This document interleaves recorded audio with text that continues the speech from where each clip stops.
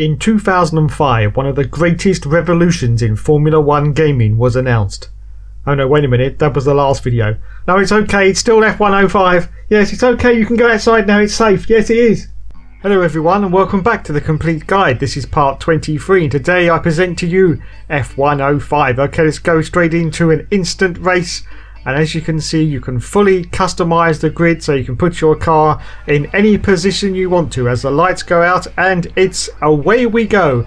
We are currently at Silverstone and I'm driving as Jensen Button in the BAR. Okay, as the cars go round, it's time to tell you some more about the game. Formula 105 for the PlayStation 2 was released in Europe on July the 1st, 2005, and in Australia later that year.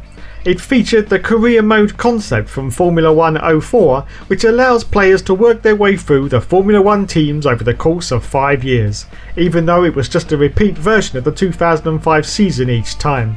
This game also supports EyeToy Cameo, allowing players to place their own face on a driver when creating their profile. But unlike F104, they cannot choose their own helmet at the start. The player assumes a white, unmarked helmet and only later unlocks other colours and designs. The cover athletes are Jensen Button, David Coulthard, and Narain Karthikeyan. A notable credit is the opening video which features the song Butterflies and Hurricanes from English alternative rock band Muse. For the first time in a number of years, the fans agreed that this was a massive improvement in the series and the shot in the arm it had so desperately needed. A lot of people had criticised Studio Liverpool for the lack of ambition and progress since the series appeared on the PS2 platform up to that point. However, there were criticisms in terms of the AI being too easy on the hardest of settings, and about the penalty system that had been introduced on Formula 105, which automatically reduced the revs during a penalty instead of the traditional drive-through penalties the previous games had seen. Okay, let's do this then. Let's first look at the interactive pit stops, which is new for F105. You have to come into the pits and you have to press buttons in the correct order. To do your pit stop. Otherwise, you get a delay in the pit. As you can see, the fuel has just gone in now. And of course, unfortunately for F105, there was no tyre changes because they all went out on the hard tyres. So there really wasn't a lot to do on the interactive pit stops, only if you had an accident or you had a puncture where they actually had to change the tyres. So we rejoin the field at Silverstone now and we're in third position. Okay, let's move on now to the driving views. As you can see, we're currently in the standard T-cam view, and now we go to the absolutely glorious cockpit view. As you can see, there are so many buttons and switches and uh, lights flashing on the uh, steering wheel now. It's unbelievable and really, really incredibly detailed and fully immerses you into the Formula One experience. So that has to be applauded there from Studio Liverpool. Now, if we have a look at the mini map, which is now moved into the left hand corner of the screen, we can also see for the first time we've now got every single car on there instead of just the one from behind and in front of you. Wow, another massive improvement for Studio Liverpool. And we're just looking at the chase view now, as you can see, and that's a sort of more zoomed out uh, chase view as well. Okay, and now back to the T-Cam view. Okay, let's have a look now at online. Yes, this game was online in 2005, but sadly the servers have long been shut down, which is such a shame. Okay then, let's have a look now at some of the unlocked cars. Now, of course, I haven't played this game a lot recently, and the memory card's been wiped, so I've only got the Lotus 79 and, of course, the glorious Williams FW11. Okay, moving on now to learning and tips. Yes, there are lots of uh, tips that you can uh, go through that teach you about the game, and of course, the new regulations for 2005. We've got braking assistance, steering assistance, the virtual racing line, the corner speed indicator, the suggested gear indicator. It's all there. Anyway, on to the teams. We've got Ferrari, we've got BAR, we've got the Renault F1 team, of course which were the winners in 2005. We've also got the uh, BMW Williams F1 team, the McLaren Mercedes team. They're all very strong and powerful teams in 05. The Sauber Petronas team, of course, the Red Bull team, which was new for 05, and the Panasonic Toyota Racing team, the Jordan Grand Prix team, which of course was their last season, and the Minardi team as well. On to the tracks now. We've got Australia. Now, I don't think any of these tracks are actually in order, but we've got United States Grand Prix, of course. Then our next track we move on to is uh, Canada, then we got Brazil. Then we've got the British Grand Prix. And on to the next one, we've got uh, the Spanish Grand Prix, of course. And then the French Grand Prix. And then the Belgium Grand Prix at Spa. Then, of course, we've got the Italian Grand Prix, the Monaco Grand Prix, the European Grand Prix, which is in Germany. We've also then got the San Marino Grand Prix, uh, the German Grand Prix, and then of course we got the Hungarian Grand Prix, the Turkish Grand Prix, and then we move on to the Bahrain Grand Prix, and then the Malaysian Grand Prix, and then the Chinese, and then the Japanese Grand Prix. Okay, onto the race options. As you can see, fully adjustable. You can go from easy, medium to hard on the difficulty levels. You can also adjust your AI speed, how fast they go, which is uh, separate from your difficulty, which is really, really good. You can also adjust the race distance now from, I think it's three lap. And then you can do 10%, 20%, 50%, 75%, and of course the full race distance, which is all very good indeed. The fuel and wear, you can have scale, which means if you pick a shorter race, the actual wear on the tyres and the car and the fuel, of course, is actually scaled down so it reflects accurately the race distance that you are currently running on. You can of course adjust the weather from its usual cloudy, sunny, light rain, heavy rain, whatever. Or you can also have the fuel and wear, I forgot to say, on realistic as well if you're doing a full 100% race distance. Okay, on to more driving aids now. We've got steering assistance, braking assistance, gearbox, manual, automatic, suggested gear. Uh, it's all there. It's everything that you would expect from a standard Formula One game for the PlayStation format. Okay, let's move on now to a uh, career mode. Yes, onto the career mode, and this time it's fully adjustable, unlike F104. You can adjust the difficulty to how you want it, the race distance, the fuel, it's all there. So we start our career mode, and first of all, we had to find a job. Well, that's really boring. Who wants a job? Anyway, off we go then. As you can see, we get a response from, oh, it's Deborah. Oh, hello, Deborah. Are you going to look after me? Well, that's very kind of you. Uh, so we're going to start a trial, and we've got Minardi, Jordan, or the Red Bull. And so we're going to start in the Minardi, of course, because it's bound to be pretty easy. And we've got a time trial that we've got to beat a time in the Minardi. So we cross the line, and uh, at the moment, I do believe we haven't quite beaten the time, but a little bit later into the session, as you can see, we're going to cross the line now. And yes, we have successfully beaten the time 116, and we only wanted 117. So we go to the job offer, but unfortunately, it's only a test driver. Well, we don't really want that, do we? So we're going to go for another trial now, and this is with the Jordan, and we've got to beat this time within 10 laps. So we start our run now, and as you can see, we've just coming across the line to finish our 10 laps now, and we've already beaten the time. So we are going to complete our trial in the Jordan. So we're going to go back to the uh, career mode hub and see what we are going to get as an offer. But once again, it's a test driver role. Oh my goodness. Anyway, it's completely up to you if you want to do your first season as a test driver. Well, you can. But eventually, you will get into a car, and eventually, you may even get into a car as good as the McLaren, which is what we are in at the moment. As you can see, I'm about halfway through the season in the McLaren car. So let's go in. As you can see, we've got to choose the session. We've got Friday practice, Saturday qualifying, or the race. Of course, we're going to go straight now into the car setup menu. We can go to the quick setup. Once again, if you're not very good at setting up the car, you can just use it as the default settings. The custom settings, as you can see there, will change anything that you need to change on the car. We've also got the brake bias you can adjust. You can adjust the traction control setting as well, so you can have it at 100% or 75 for setting 2 so you can individually tailor the traction control to how you actually like Okay, so we move on now to the gearbox. Oh, look at that. You can actually adjust the gearbox. I do remember those days. You can also adjust the steering lock, which of course will affect the wear on your tyres. Now, here's a little bug in the game. As you know, they could only go out on hard tyres, which lasted the whole race. But in this game, you can actually change to soft tyres if you so wish, which of course is a little bit of a bug there because soft tyres were not available in the real season.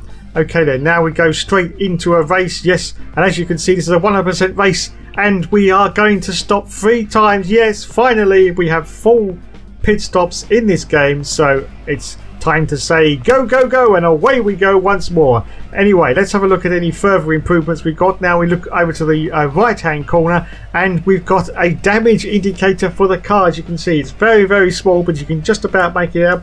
This tells you the temperature of the tyres and whether or not you've got any front wing or rear wing damage. It also tells you the temperature of your engine. It gradually gets hotter as you go through the Grand Prix and if you use a manual gearbox and over rev it too much you will see that the engine will start to go red which means it is starting to overheat. It's another fantastic improvement for F105. You can also see in the top right hand corner we've got the fuel indicator as well which tells you exactly how much fuel you've got in the race which was really really good because in the previous versions of course it just started to uh, flash or you used to just get a one symbol that used to come up to tell you that you were low on fuel. As you can see here you can clearly see exactly how much fuel you've got left in the tank. Okay, so in the uh, left hand corner, you've got, of course, what position you are in the race, and unfortunately, it seems to be only uh, the car in front and the car behind. Once again, as you can see, it's just popped up uh, Webber, and I think that's Patrick Friesacher. But uh, whereas it used to in the last game actually tell you several positions, it only tells you the car in front and the car behind. Anyway, it's time for the Monaco test once more. As the five lights go out, and it's time to say go, go, go. And away we go, we're back in Jensen Button's BAR. I think this is the default car for this game. Well, of course it would be because it was made in the UK, of course. And so as we climb up the hill, you can see that the graphics once again are glorious. We've got this sort of blur effect, as you can see, as we rapidly gain speed, which actually decreases as we slow down and then increases again. I actually turned the blur effect off because I didn't like it very much. It seemed to create an artificial speed environment which I wasn't too happy about. Anyway, as we go down now into the enormously tight hairpin at the Monaco section into the casino, and is it going to be a clusterfuck? No, it's absolutely glorious as you would expect from a Studio Liverpool. Oh my goodness, I think I've just been hit up the Jack Jones by someone there. Oh my god, just been hit up the Jack Jones again, and we've got yellow flag for some reason. I think that's David Coulthard. I think it may be Coulthard. Anyway, we go through the tunnel. As you can see, it's very, very bloody dark, and you can't see a bloody thing. Well, anyway, we come out of the tunnel, and overall, then it's all good for F105. And look at that, you can also see progressive uh, build up from the tyres. And oh my goodness gracious me, we're going to check out the damage model now. I've ploughed straight into a car in front. We're at Indianapolis, and I'm trying to see how much damage I can put on the car. And oh my god, I don't believe it. The wing is still on. How the hell can the wing still be on? Let's plough straight into. Oh, we've got a all warning flag, which means that one of the car's engines has expired. I think that's the Toyota. But I'm still trying to lose this damn wing at the front. I crashed into my teammate there, and we've got two Renaults in front. Let's see if we can get past the two Renaults and smash into this Ferrari. And hopefully, we'll be able to lose the front wing so we can actually test out the damage on this game. So full speed. Oh, I forgot to brake into the Ferrari we go, and yes, we finally, I think we've broken the front wing. Has it come off?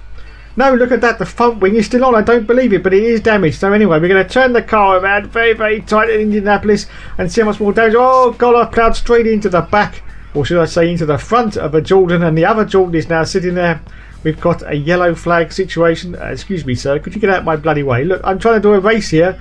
I don't care. I want to do it in reverse. I don't want to do it forwards. That's boring. Come on, get. Oh god, and I've been disqualified. Anyway, let's have another attempt now and see if we can get the wheels off on this game. So, full speed into turn one. Oh, shitty bollocks. Straight into the back of the Toyota, as you can see. But unbelievably, the wing is still on at the front. What the hell are these wings made of? Titanium or what? Oh my god, I've into the back of the McLaren. It's unbelievable how much strength these wings have got in F105. Of course, we all know that in real life in the season they made the cars a hell of a lot stronger, but I don't think they were that much stronger, were they? Oh, look at this! And now we've had a low speed impact, and finally the wing has damaged itself. Wow, fantastic from Studio Liverpool there. Let's see if we can uh, forget to brake and plough into this Ferrari once more. And oh yes, yes we do. We pushed the Ferrari off, but once again the wing is still on. So let's turn the car around again and see if we can do some more damage. Oh my goodness, I've just ploughed straight into a Sauber and we got the two McLarens and oh my goodness, I've caused a right pile up there. Oh, we got a yellow flag. Safety car. Anyone got the safety car? Oh no, unfortunately the safety car is not actually in this game. As you can see, I've managed to cause an almighty pile up there and I've been disqualified for cock's sake. Anyway, let's have a final go at trying to get the wheels off this bloody car. I'm going to try and go into the sidewall now. Oh my god, no, I haven't done it. Oh, I've gone into the side of a Ferrari, but no, still the wheels are on. You can see I've actually damaged the wing. I had managed to get that much done.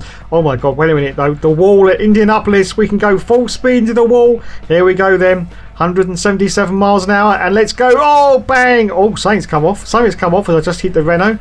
I don't think that was the wheel though. Was it the wheel? I've got an orange and black symbol which telling me there's some damage to the car. I don't know what it is so as I plough into the wall on the right hand side I'm not quite sure what the damage is to be honest but there you go. We carry on going. As I plough into the Ferrari and the I don't believe this bloody car. What does it take to get the wheels off this bloody car? Anyway, let's have one final effort then and smack into the wall. Oh my goodness. Oh, wait a minute. I think I've finally done it. I think Horsey's finally gone lame. Yes, he has. Oh, my God. Horsey has finally got a puncher, as you can see on the left-hand side. Well, of course, I was going to the wall at nearly 200 miles an hour. So, oh, my God. And look at that. A very low impact on the right-hand side. Now I've got a, two punches. Oh, my goodness. Well, I have achieved my objective almost. The wheels haven't come off but we have two punches now, and this is unbelievable. I actually seem to be making quite good progress with two punches as my teammate goes past me. Oh my god. So there you go. That is the damage model in this game, which is basically not very good at all, unfortunately. Okay, so just before the summary, I'd just like to uh, do a mention about the AI speed. And yes, unfortunately, this game is very, very easy. It's possible in career mode to win a season in a Minardi, which is a bit disappointing. But there are ways around it as we come in now for our pit stop. And finally, we're going to have to press some more buttons because, of course, we've got to change the tyres this time. So the fuel goes in, the front wing comes in, as you can see. We're going to have to press the buttons at the front. There you go, the R1 and L1 buttons to change the tyres. Now, the way you can get around the actual problems with uh, the AI speed is because this game is basically an update of last year's game, the pit stops take pretty much 10 seconds. Now, of course, um, you can come in for a pit stop and press the buttons really, really quickly. You can get out in about five seconds. So the way to get around this and to actually match the uh, pit stops of the AI is to actually wait in the pits, not pressing the buttons for 10 seconds, and then you will pretty much match what the AI are doing. It's not a very good uh, fix around, but it does do the job. So, in summary, then we can say, is this game worth buying? Well, I have to say, yes, yes, yes. It's a fantastically well crafted game from Studio Liverpool once more. The handling is absolutely superb. And if you're a Formula One junkie, then this is the place to go on PS2 for your Formula One fix because, of course, this was the second to last game for the PlayStation 2. Okay, this has been my review and roundup of F105 for the PlayStation 2. I'd just like to say thanks so much for watching, everyone. There will, of course, be more later.